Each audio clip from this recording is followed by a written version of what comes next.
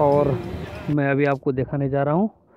यह है चिनाब ब्रिज जाने का रास्ता, जो पहाड़ियों को काट कर जो है काफ़ी कंजेस्टेड रोड है। इस रोड को जो है बी बॉर्डर रोड ऑर्गेनाइजेशन के द्वारा जो है लोकल पब्लिक और कंपनी के कोलाब्रेशन के सहयोग से ये जो है रोड थोड़ा वाइडनिंग का काम चल रहा है। तो ये ब्रिज बनाने में जितना इंजीनियरिंग चैलेंज हमारे इंजीनियरों को जो चैलेंज फेस करना पड़ा, उतना ही चैलेंज जो है, इन कंपोनेंट्स और जो कंस्ट्रक्शन मटेरियल को ट्रांसपोर्ट करने में भी काफ़ी दिक्कतें हैं।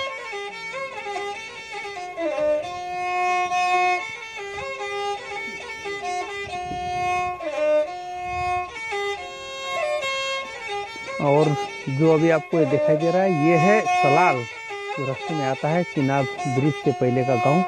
और उसके आसपास के पहाड़ियाँ और नीचे की ओर जो आपको पानी दिखाई दे रहा है, ये है चिनाब नदी।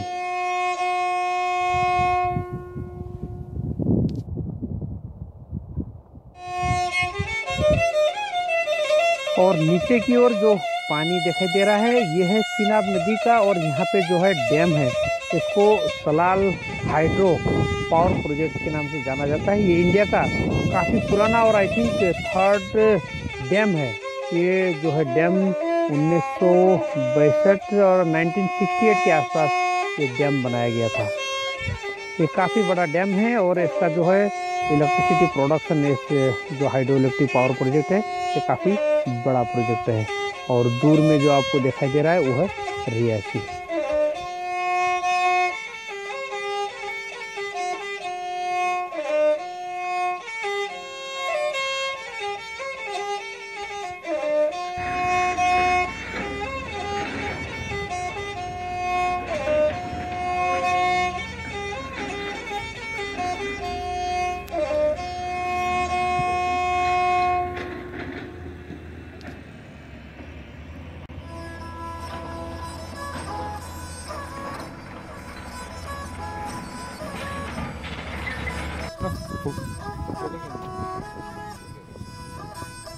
मेरा देख रहे